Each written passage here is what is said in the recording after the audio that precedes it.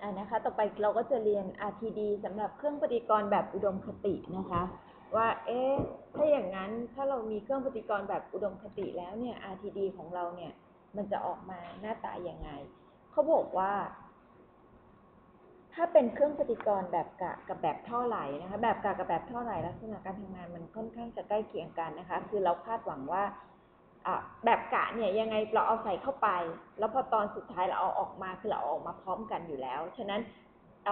RTD ของมันหรือการพลอตระหว่าง ET เป็นฟังก์ชันกับ T คุณก็จะได้เส้นตรงที่เป็นแบบชาร์ปพีกเลยแบบหมายความว่าสารคุณเนี่ยออกมาที่ตำแหน่งนี้เลยตำแหน่งเดียว เวลาเดียวเลยเนี่ยออกมาพร้อมกันหมดเลยอะในทำนองเดียวกันสำหรับเครื่องปฏิกรณ์แบบท่อไหล เราก็คาดหวังว่า เดียนะ คุณใส่สารเข้าไป สารพวกนี้เนี่ยพอเวลาเดินทางปุ๊บคือมันไปด้วยกันแล้วก็ออกมาพร้อมกันทีเดียวเลย ฉะนั้นวาด RTD ออกมาหน้าตาเหมือนกัน ET เป็นฟังก์ชันกับ T ออกมาหน้าตาเหมือนกันเลย คือได้เป็นแบบเส้นตรงขึ้นไปสูงสูงเส้นเดียว นั่นหมายความว่าทุกโมเลกุล ออกมาจากเครื่องปฏิกรณ์ด้วยเวลาเดียวกันนะคะาวนี้พอเราไปพลอตเป็นกราฟของลักษณะความถี่สะสมหรือ FT ก็จะพบว่าแทนที่จะได้เป็น S shape แล้วค่าสุดท้ายเข้าสู่หนึ่งเปล่า ตัวนี้เนื่องจากทุกตัวมันออกมาเวลาเดียวกันหมด คุณเลยได้เป็นก้าเส้นตรงปุ๊บไปอย่างนี้เลยนะคะ ฉะนั้นเวลาเฉลี่ยเวลาที่สารใช้เวลาในเครื่องปฏิกรณ์มีค่าเดียวเลยมีค่าเท่ากับถ่าวถูกไหมคะอะอันนี้คือลักษณะของเครื่องปฏิกรณ์แบบอุดมคติ แต่ถ้าเกิดเป็นของถังกวนนะคะ แต่ถ้าเป็นของถังกวนปุ๊บเนี่ย มันจะไม่เป็นแบบนั้น เพราะว่าเวลาถังกวนที่เราใส่เข้าไปเนี่ย คุณมีการฟีดใส่เข้าไป แล้วคุณก็ดูว่ามันจะออกมาเมื่อไหร่ถูกไหมคะ ฉะนั้นสิ่งที่เราทำก็คือเราก็ฉีดสารเข้าไปในเครื่องปฏิกรณ์แบบถังกวนแล้วเราก็ทำสมดุลมวลสารทุกครั้งที่เราทำเครื่องปฏิกรณ์แบบถังกวน ตอนที่เราดีไซน์เครื่องปฏิกรณ์เราจะมองที่ สภาวะเวลาคงตัว แต่ตอนนี้เวลาที่เราทำ RTD เนื่องจากเรากำลังดู time distribution เราจะดูว่าโมเลกุลเนี่ยออกจากเครื่องปฏิกรณ์เนี่ยใช้ที่เวลาเท่านี้ออกมากี่เปอร์เซ็นต์ที่เวลาเท่านี้ออกมากี่เปอร์เซ็นต์เครื่องปฏิกรณ์แบบถังกวนมันจะไม่ใช่อย่างนั้นแล้ว คุณต้องมาทำสมดุลมวลสารของเครื่องปฏิกรณ์แบบถังกวนนะคะ ตอนนี้เนื่องจากตอนที่เราทำ RTD การพิสูจน์ว่าเป็นเครื่องปฏิกรณ์แบบอุดมคติหรือไม่อุดมคติเนี่ยมันไม่มีปฏิกิริยาเกิดขึ้น ฉะนั้นสมดุลมวลสารเราก็ได้บอกว่า in ลบ out เท่ากับ term accumulate term accumulate ไม่เท่ากับศูนย์เพราะเราจะดูว่าโมเลกุลออกจากเครื่องปฏิกรณ์ที่เวลาเท่าไหร่ ฉะนั้นถ้า term accumulate เท่ากับศูนย์ปุ๊บ มันดูเวลาไม่ได้ทันทีใช่ไหมคะ ซึ่งจากการทำสมดุลมวลสารตรงนี้หลังจากการฉีดสารเข้าไปแบบ pulse ปุ๊บเนี่ย คุณก็จะได้ว่า เนี่ยนะคะ อันนี้ CSTR นะคะ่ะ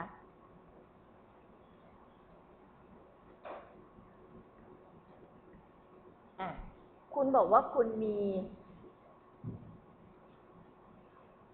C เท่ากับความเข้มข้นนะคะ C C in ใช่ไหมคะอะ C in ลบ C out C out เขียนเป็น C เฉยๆนะคะ เป็นฟังก์ชันกับ T คุณฉีดเข้าไป คุณฉีดแค่นั้น แล้วคุณไม่ฉีดอีกเลย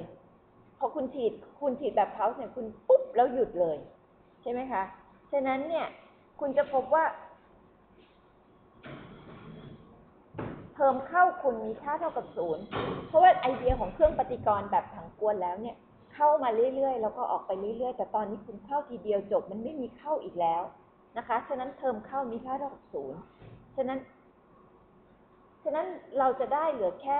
ออกกับสะสมนะคะ เทอมออกออกมาด้วยอัตราการไหลเชิงปริมาตรเท่ากับ v ฉะนั้นคุณก็จะได้ว่า v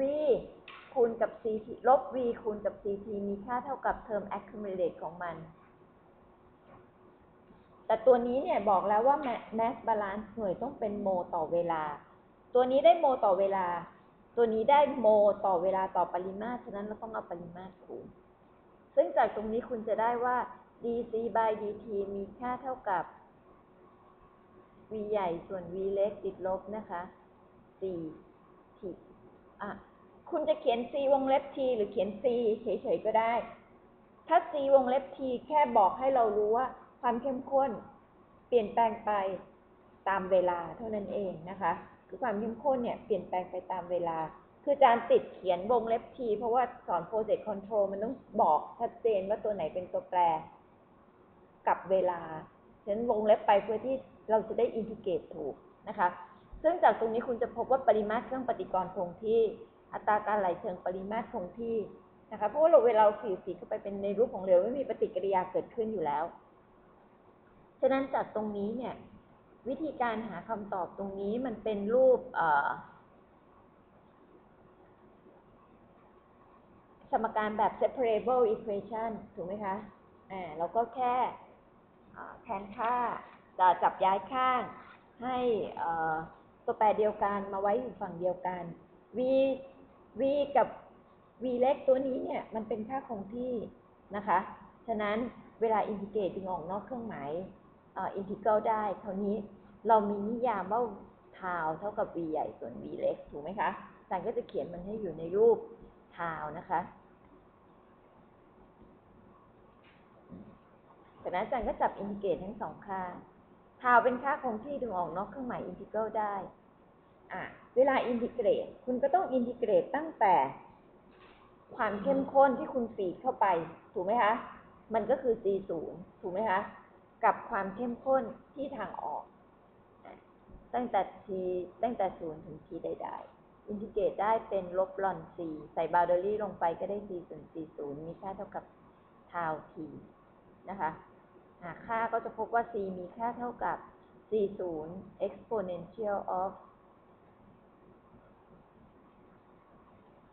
เดี๋ยวนะคะ สัญญาณข้างถูกหรือเปล่าเนี่ย v เล็กมันอยู่ด้านบนเนาะ ตรงนี้มันผิดนะ เอาใหม่นะ มันได้เป็นลบ v เล็กส่วน v ใหญ่ c นะคะ อ่า พอย้ายข้าง ลบ ลบอาจารย์เอาให้ฝั่งนี้ไป ฉะนั้นตัวนี้จะเหลือแค่ v เล็กส่วน v ใหญ่นะคะ แต่ v ใหญ่ส่วน v เล็กเท่ากับเท้านะคะ ฉะนั้นตรงนี้มันได้เป็นเศษหนึ่งส่วนเทานี่ก็เป็นเศษหนึ่งส่วนเทานี่ก็เป็นเศษหนึ่งส่วนเทาคูณกับ t นะคะ ตรงนี้ก็ได้เป็นลบ t ส่วนเทา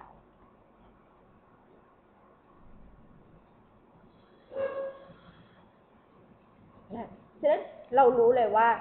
ความเข้มข้นหรือปริมาณของสารที่ออกจากเครื่องปฏิกรณ์แบบ JCR เนี่ยมันเป็นฟังก์ชันกับเวลาตามสมการนี้นะคะฉะนั้นถ้าเกิดคุณลองพลอตที่ t เท่ากับ 0 t เท่ากับ 0 c มีค่าเท่ากับเท่าไหร่คะ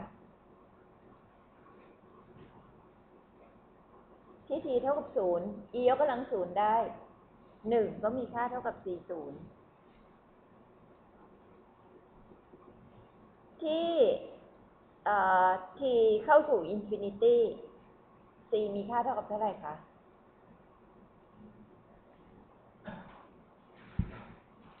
ที่ t เข้าสู่ infinity t เข้าสู่ infinity มันก็คือ exponential ของลบ infinity มีค่าเท่ากับ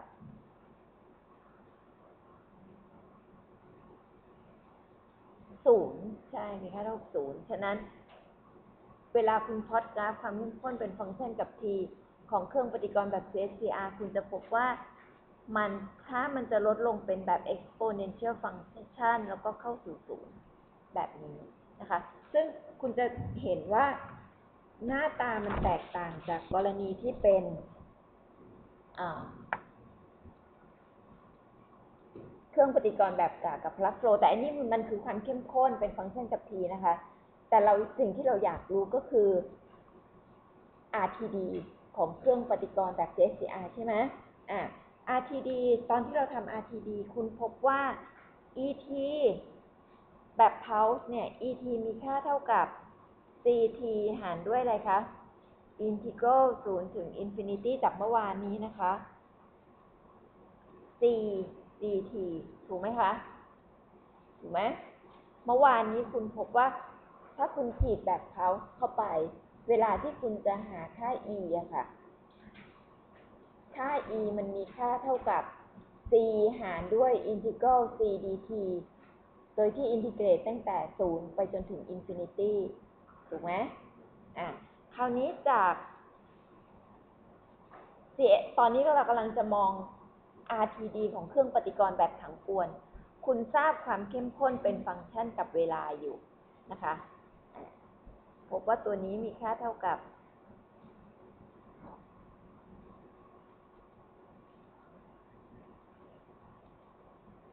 ใช่ไหมนั่นคือวิธีการที่คุณกำลังจะหาค่า RTD ถูกไหมคะอะ ถ้าเป็นเครื่องปฏิกรณ์แบบอื่นที่คุณทำการทดลองมา คุณจะมี CT เป็นฟังก์ชันกับ T แล้วคุณก็จะต้องหาค่า ET โดยใช้สูตรนี้ ถูกไหมคะ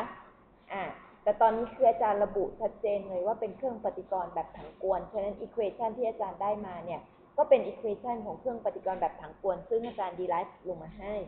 นะคะ เสร็จแล้วเนี่ย แล้วเราจะรู้ได้ยังไงว่า et ตัวนี้เนี่ย ฟังก์ชันหน้าตามันจะเป็นยังไง เราก็อินทิเกรตตัวนี้อื่นออกมา ตัวข้างล่างอินทิเกรตได้ไหมอ่าดูอินทิเกรตตัวข้างล่างนะคะ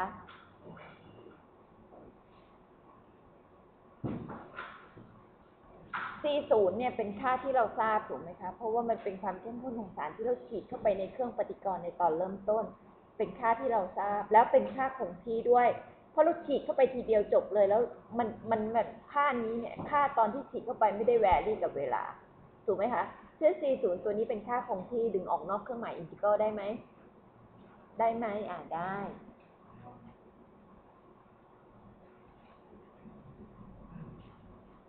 อ้าว integrate e กำลังลบ t ส่วน tau dt ได้อะไร ต้องทำ t ตรงนี้ให้เป็นลบ t ส่วนทาวฉะนั้นคุณก็ต้อง ทำไงคะ คูณเข้าด้วยลบเท้าป่ะคะคูณเข้าด้วยลบเท้า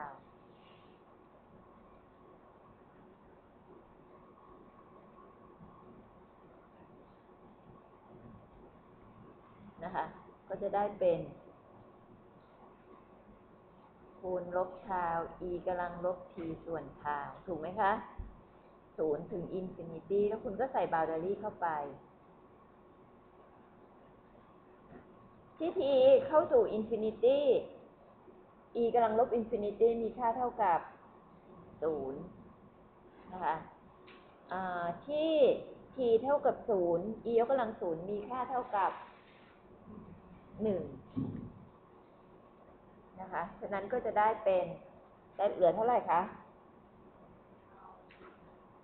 ทาวคูณ c ศูนย์นะคะ จากนั้นคุณก็เอาเข้าไปแทนในสมการ et ของเรา et เรามีค่าเท่ากับ c ศูนย์ e กำลังลบ t ส่วนทาวหารด้วยเทอมข้างล่างที่เราอินทิเกรตออกมาเรียบร้อยแล้ว เพราะว่าอินทิเกรตเราได้เป็นทาว c ศู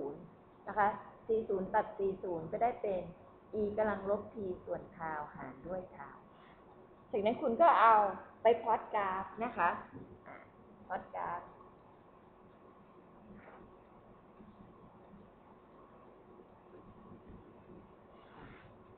พลอต กราฟได้อะไร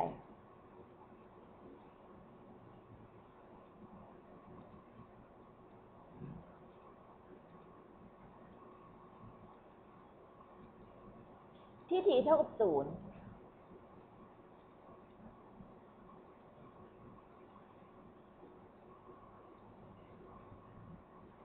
ที่ t เท่ากับศูนย์ e กำลังลบ t ส่วน tau มีค่าเท่ากับหนึ่ง ใช่ไหมคะ ฉะนั้น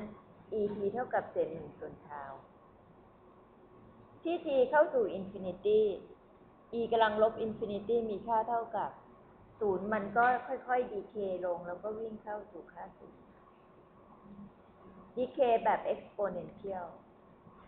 เนี่ยค่ะ เป็น et ของเครื่องปฏิกรณ์แบบ CSTR นะคะ นี่คือแบบอุดมคติของ CSTR เลย นะคะ ก็จะได้แบบนี้ คราวนี้ถ้าคุณดูในหนังสือในหนังสือเนี่ยจะเขียนอยู่ในรูป